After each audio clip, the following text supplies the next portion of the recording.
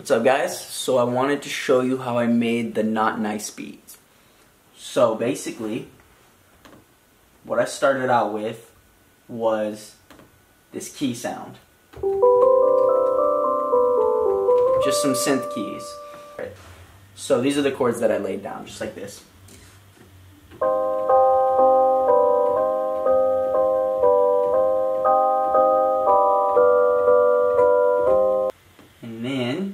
From there, I immediately heard the exact 808 pattern that I would want on it in my head. So what I actually ended up doing is creating this 808 in Massive. Um, a lot of people like to use samples for their 808s, and there's nothing wrong with that. I do that all the time too, but I am kind of proud of myself for actually just making this sound from scratch.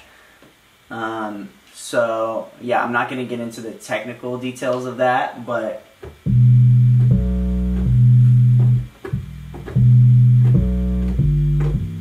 that's my 808. I do have it layered with uh, some overdrive.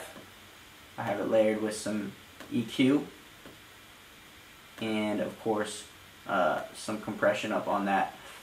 Um, every sound that you're hearing though is not is not completely mixed. It's not it's not what it sounds like in its final form because after I finish this beat, I do go to a studio, I record, we mix it down, we get it sounding nice and polished. So, um, on top of this 808 sound, we do have more effects plugged into it that are just pushing it and driving it even harder. And same for all the sounds that you're hearing here. Then I had an idea to go ahead and layer it with this harp sound. It's one of those things where it's just a little bit of ear candy. And so my beat was coming together and I knew for the hook I wanted to go ahead and build it up. So I took this other synth sound.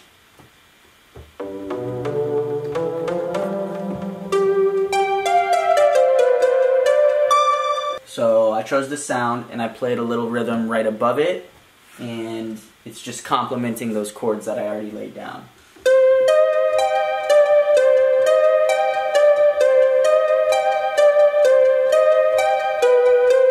and I copied this sound, this synth that I'm playing for you, and I basically did the exact same thing except one octave higher just to fill it out more, make it more exciting, more interesting. And that sounds like this. And it's a lot quieter than the other one, just to uh, not overpower anything. And then from there, I basically just started building up my drums. So uh, I started with my clap, which is generally what I start with when I'm trying to build up my percussion. So we got that here.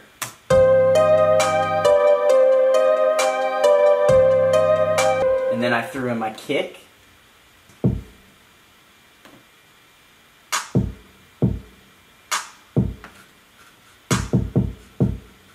So then I started building up my hi-hat rhythm. So I had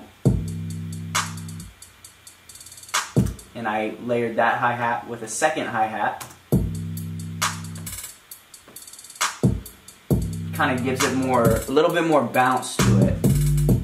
Kind of goes back, it feels like it's going back and forth to me. So I added a little hi-hat roll here. And then I added an open hi-hat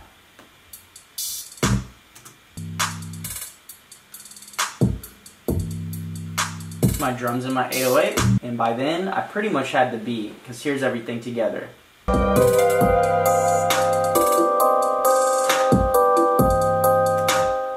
Right, so from there there was one last sound I added. Basically this last sound that I added is just a vocal chop uh, just processed differently. Um, it's just kind of the tail end of it. I liked this little this little sound here, and I just threw it in, and here it is soloed out.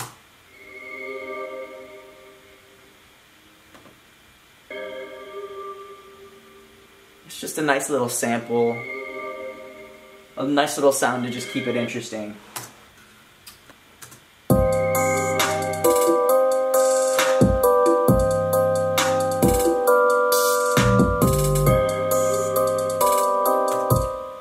That's it. That's the not nice beat.